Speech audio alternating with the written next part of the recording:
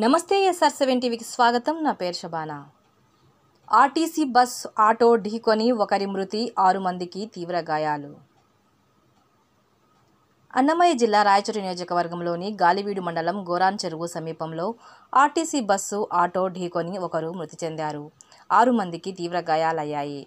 అందరూ ఒకే కుటుంబానికి చెందిన వారే కావడంతో ఆ ఊరు మొత్తం రోధిస్తున్నారు. వీరు ఎగువగొట్టి వీడి నుండి తలముడిపిలోని బంధువుల దగ్గరకు వెళ్తుండగా ఈ సంఘటన జరిగింది. క్షతగాత్రులను రాయచోటి ప్రభుత్వ ఏరియా ఆసుపత్రికి తరలించారు. పోలీసులు సంఘటనా స్థలానికి చేరుకొని ప్రమాదం జరగడానికి గల కారణాలను పరిశీలిస్తున్నారు.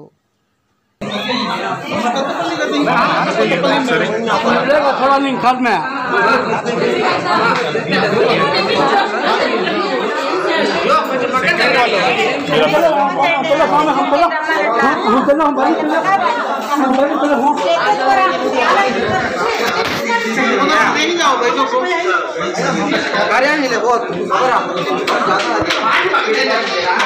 साइड आ जाओ साइड आ जाओ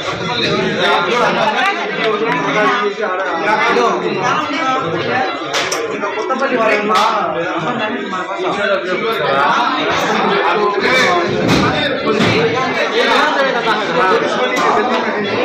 చూడండి